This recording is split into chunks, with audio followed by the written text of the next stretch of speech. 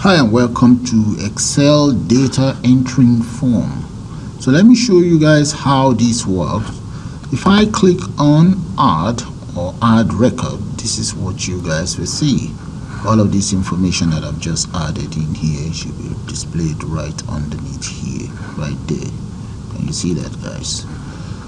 Okay, and we can also reset the whole system or delete whatever we want. Let's say we want to delete. Let's look for something to delete. Assuming I want to delete this now. Okay I can just click on delete and that's it. If you look in here that is gone. See that? Let's say I want to delete this. Okay there. And there is gone. So I can reset to reset all I need to do is click on reset and enter new data in there. Let's say we want to enter the following reference and the name of this let's say the name is Peter. Or let's say Pete. Pete South. And address of South is number 5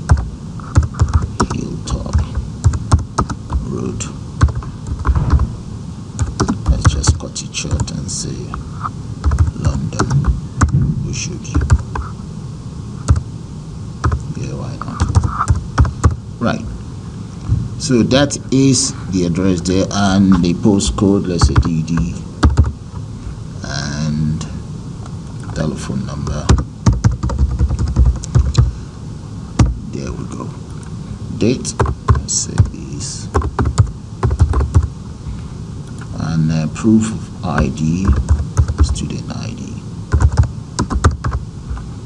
Member type is an annual member as well. And fee paid, there we go.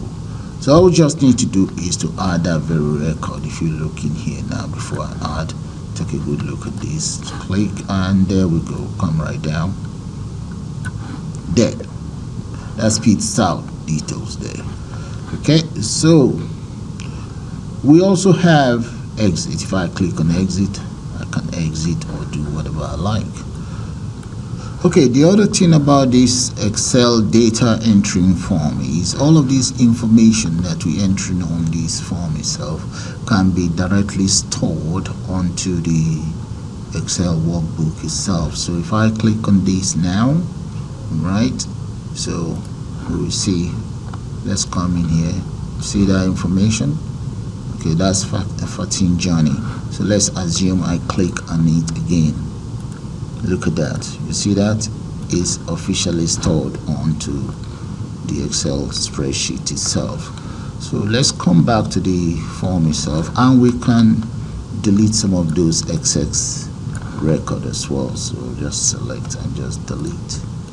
This okay. So what I'm going to do right now is I'm going to take you guys straight into Excel development environment and we put one of these together. So let's do that now guys. Hi and welcome to Excel data entering form. I'm going to start by clicking on the developer tool right here but if you don't have the developer tool or if you are new to developing a system using Excel what I will advise you to do is to get your developer tool you go to file then you select options. And once you're on, on options you need to click on the customize ribbon right here. And once that is enabled you see the developer tool? You must make sure that is checked. It must be checked. Once it's checked you then click on ok. But if you can't find the developer tool all you need to do is maybe go to popular commands and there you should be able to see your developer tool here. Just click and add to this uh, customized ribbon area and then click on ok. There. And you should be able to see your developer menu up there. Then click on developer menu. Now you want to select Visual Basic or you can always click on Alt F11 as you can see here. Alt F11 so click on Visual Basic. Once you click on Visual Basic you then need to select insert and user form. Click on user form. Now your form will appear. Or now that your form appears the next thing you want to do is depend on the size that you want your form to be. In my case I want the height of my form to be approximately 700 and the width I'll make that maybe 1030 then just click on enter. There that is it done. Now the next thing that you will need is as follows. I need some frames. So click on your form and the toolbox will appear. If the toolbox is not there that is your toolbox there. Click on your toolbox. I will now select frame. Click on the frame. Just drag it that much if you want to be specific you can always take care of your design know the length of your frame and so on. So supposing my frame the top frame let's make that approximately 54 and the width I'm going to make that 996 right there. There. So that is that taken care of the next one I would like to take care of would be another frame. I might as well just click hold my control and copy this. There. So this very one that I've just copied I'm going to make the size the width. Uh, let's go for the height. Let's change the height to 234 okay? Now let's come down here. I'm gonna copy this again because I need another one. Copy. Drag. Drop it right there. Okay. In the case of this one let's change the I'm going to change the height of that one to approximately 180 so I have three frames there on my system. There. That's it. All done. Now those three components on my system I'm going to change their color so select them individually the first two. The first two will be of the same color. So you can go to back color right there and select that. I'm going to go to palette. And I think I'm going to settle for this background color. Now this very one on top change the back color as well palette and maybe I will settle for something green just like that. Now for the very one right on top I'm now going to add a label. Click paste a label there. And this very label I'm going to enter in there. Excel data entry form okay I have Excel data entry form in there but I do need to customize the size. So let's go to form or fonts click on font. And in there make that bold. Maybe let's go for maybe 48 that might be too much. I'm going to see if I can reduce it to 44 right still need to kind of like open it up so that you guys can see it. Okay that looks fine. All right now the next thing I want to do is to change the font color. So I'm going to come into where we have font or fore color here. Click on that. And let's change the color to that. That is sorted. Now I need more labels here. And these very labels let's change the size of that very label to bold 16 I will copy that across. And I also need a text box. That is text box there. Click paste a text box there. Let's change the font of that to bold 16 as well. Right. And the size of this very text box let's come into height let's change the height to 30 and the width. I'm going to change that to 330 as well. Right so I can now copy it across. So grab both and let's position them properly. Okay. Just like that. So I will now hold on to the control and just copy hold on to the control copy again and one more time. Yeah.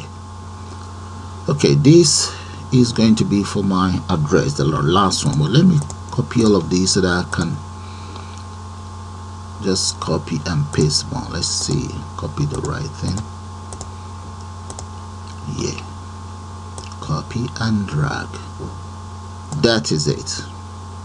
Now this very one drag it right down. Okay the size of that very one uh, maybe I should leave it like that for now. And this one I'm going to need about six of these here so I need two more. So let's copy one and just drag. No hold on to the control undo that. Okay let's move this one first so that we have enough room let's do the same thing here and the same thing and select it all. Click and drag. That is it. All is ready now. So all I just need to do now is to start changing the name. So the label name. Let's come in here. Let's look for the caption for the label. In there. The caption for the label will be reference number there. That's the label one. It's known as reference number. And the other one here is going to be change the caption of this very one to first. Surname. And this. Let's change this to that's first name and this one will be surname. This will be address. Just like that. And I'm going to just speed it all up and get back to you guys. Okay guys this is how my system looks like.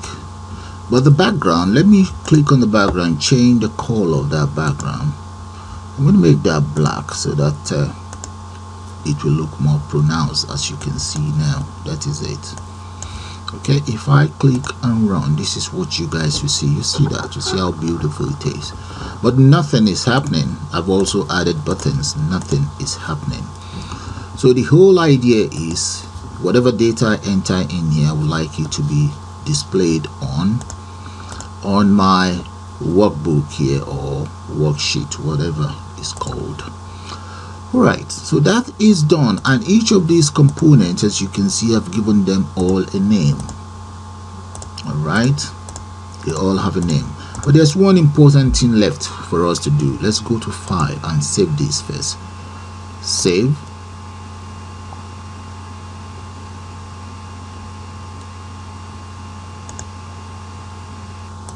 Okay, I'm going to save it right inside my data entry form there so we give it a name. Let's just say data underscore entry underscore form. Okay but instead of using this excel save type i'm going to change that to excel macro enable workbook. So select that. There we go and click on save. There that's that done so the next thing we want to do now is scroll right down. Let me start with exit. Double click on the exit button. And I'm going to declare as follows. Let's say dim. I exit as VB message box. VB message box result. Now I'm going to press enter then let's say variable i exit equals message box. Okay i'm now going to enter as follows. So all i'm just going to say is confirm if you want to exit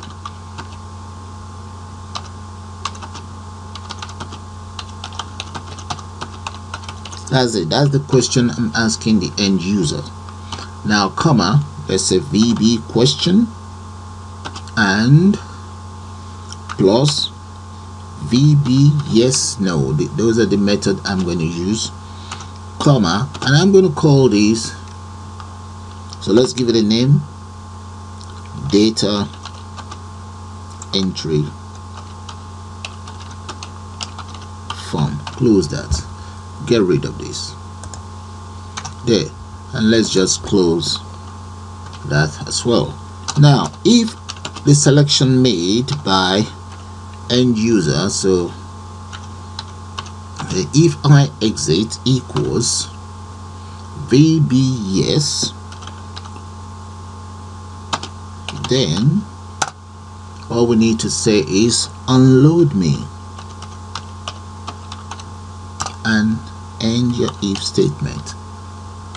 And if. That is it. Done okay so if I come in here now let's try this out. So what's happening is you can always try just unload me but supposing the end user end up making a mistake this is just giving them an option to check to, or just to confirm if they really truly want to exit the system.